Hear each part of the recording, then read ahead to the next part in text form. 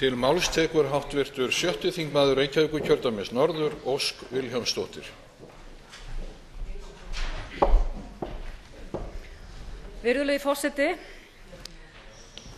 ríkisstjórn jóhönnu sigurðardóttur tók við erfiðasta búi sem nokkur ríkisstjórn hefur tekið við. En aðeins örfáum mánuðum eftir að hún hóf störf var farið að kalla hana verstu ríkisstjórn íslandssögunnar ég held að það hafi varla nokkur ríkisstjórn þurft að sitja undir öðrum eins stóryrðum og full, fullyrðingum og yfirlýsingum um svik landráð aumingjaskap gunguhátt og svo framvegis.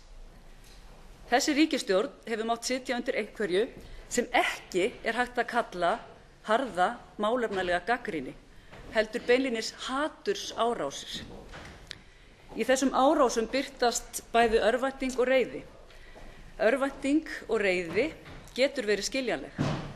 En kæri forseti við vitum að þarna eru líka öfl af verki sem vilja engar breytingar. Öfl sem núna höfða til tilfinninga og þjóðardramps mín skoðun er sú að þessi ríkisstjórn hefur staðið sig ótrúlega vel við ótrúlega erfiðar aðstæður. Allar mælingar og greiningar sýna að íslendingum vegnar þrátt fyrir allt vel. Ég ætla ekki að halda því fram að það sé alfarið ríkisstjórninni að kenna eða þakka meina ég.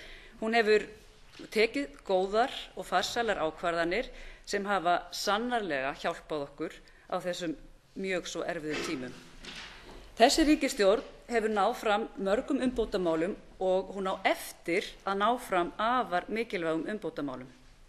Ríkisstjórnin á til dæmis eftir að fylgja eftir vinnu stjórnlagaráðsins. Koma á meira réttlæti í fiskveiðistjórnunarkerfinu og skattamálum íslands og koma á mjög mikilvægum stjórnsýslubreytingum. Síðast en ekki síst að standa vörð um náttúru íslands oft var þörf en nú er nauðsyn. Ég sé enga aðra sem geta eða vilja koma þessum málum áfram. Ég treysti ríkisstjórn jóhönnu sigurðardóttur. Takk fyrir